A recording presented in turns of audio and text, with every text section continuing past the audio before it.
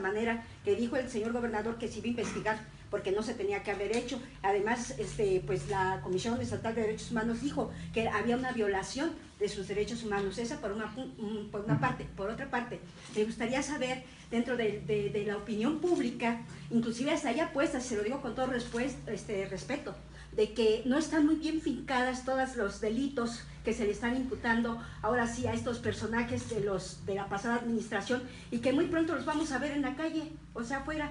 ¿Qué nos puede opinar con respecto a eso? Pues estamos hablando de este nuevo este, de justicia penal.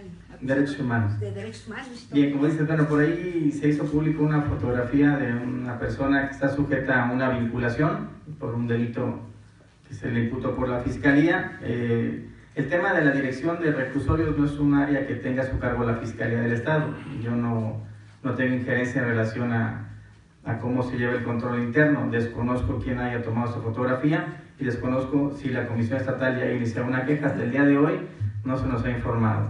Sin embargo, ¿afecta esto el proceso?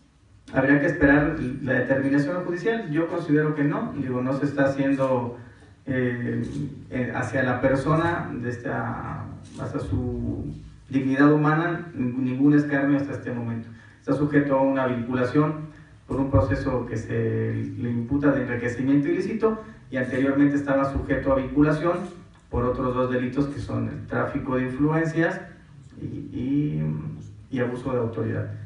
Eh, ¿Qué sucede hoy en día? Bueno, la implementación del nuevo sistema de justicia penal hace o, o, permite presumir impunidad y eso no es así.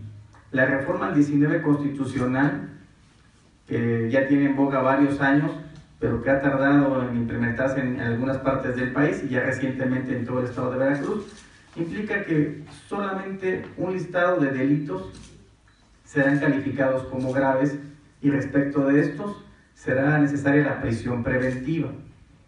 Analizado así, se podría entender que fuera de este capítulo de delitos que son secuestro, violación, eh, delincuencia organizada y demás, todos los demás delitos ameritarían que las personas que se les imputa una, un hecho delictivo tuvieran que estar en libertad.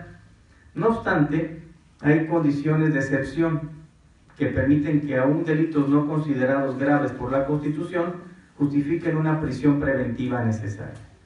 En el caso específico del señor eh, Arturo Bermúdez, la Constitución señala también una excepción. En el artículo 19 constitucional se refiere que aquella persona que esté vinculado a dos procesos será sujeto a dos procesos será sujeto a prisión preventiva.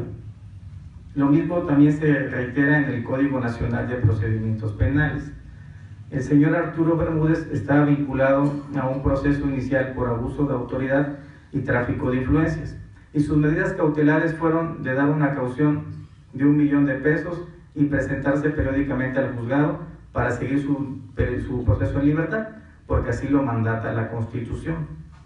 Ahora bien, al encontrarse elementos que permiten suponer que él es responsable de otro hecho ilícito, se pidió una nueva imputación en relación a un delito que se como enriquecimiento ilícito.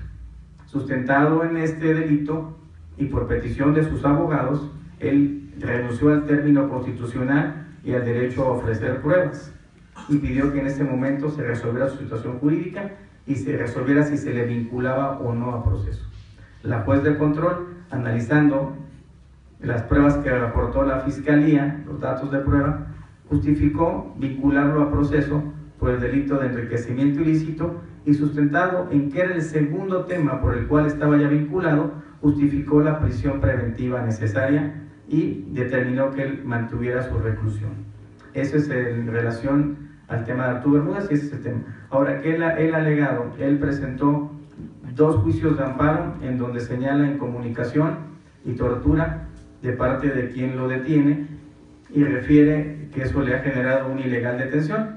¿Qué sucedió? Los jueces federales, evidentemente, ordenaron que se suspendiera cualquier acto de incomunicación y tortura y ordenaron también que cesara cualquier detención ilegal.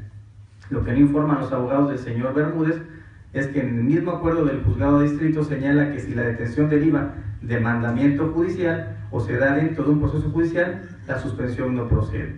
Él está alegando actos fuera de juicio que evidentemente en esta etapa procesal ya no están. Los actos que le están a él privando de manera provisional de su libertad son actos dentro de un procedimiento. El amparo, Eso es lo real. señor, el amparo entonces que presentó el eh, abogado Fidel Ordóñez, el 180 diagonal 2017, que ayer hacía público, no procede entonces o porque ahí decía se le concede la libertad, me, me pasaron por ahí 14 hojas, que se le concede la libertad de inmediato. Inmediatamente que Pero- se fuera puesto de libertad si él estuviera detenido por autoridad administrativa. ¿Qué sucedía? Y es un amparo de los que comúnmente se promovían cuando te detenía la policía y no te entregaba o al juez o al Ministerio Público.